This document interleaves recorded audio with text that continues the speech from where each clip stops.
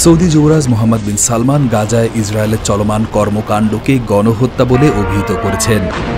গাজায় ইসরায়েলের অভিযান শুরুর পর থেকে এটি এখন পর্যন্ত ইসরায়েলের বিরুদ্ধে কোনো সৌদি কর্মকর্তাদের সবচেয়ে কঠোর সমালোচনা। রিয়াদে অনুষ্ঠিত আরব ও মুসলিম নেতাদের সম্মেলনে তিনি লেবানন ও ইরানে ইসরায়েলের হামলার সমালোচনা করেন। তেহরানের সঙ্গে রিয়াদের সম্পর্কের উন্নতির ইঙ্গিত দিয়ে তিনি ইসরায়েলকে ইরানে হামলা না চালাতে সতর্কতা দেন। সৌদি যুবরাজ এবং সম্মেলনে উপস্থিত অন্যান্য নেতারা ফিলিস্তিনের পশ্চিম তীরে এবং গাজা থেকে ইসরায়েলের পূর্ণাঙ্গ সৈন্য প্রত্যাহারের আহ্বান জানিয়েছেন।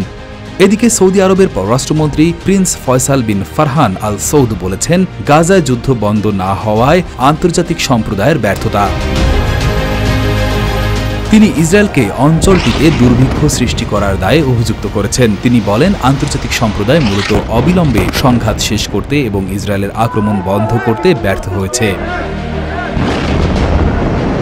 দু হাজার তেইশ সালের সাত অক্টোবর ইসরায়েলে হামাসের আক্রমণের মধ্য দিয়ে গাজায় যুদ্ধ শুরু হয়। হামাসের হামলায় দক্ষিণ ইসরায়েলের প্রায় এক হাজার দুইশো জন নিহত হয় এবং দুশো একান্ন জনকে বন্দি করা হয়। এর জবাবে হামাসকে ধ্বংস করতে গাজায় একটি সামরিক অভিযান শুরু করে ইসরায়েল। এখন পর্যন্ত চলমান এই অভিযানে গাজায় তেতাল্লিশ হাজার চারশো জনের বেশি নিহত হয়েছে বলে হামাস পরিচালিত স্বাস্থ্য মন্ত্রণালয় জানিয়েছে।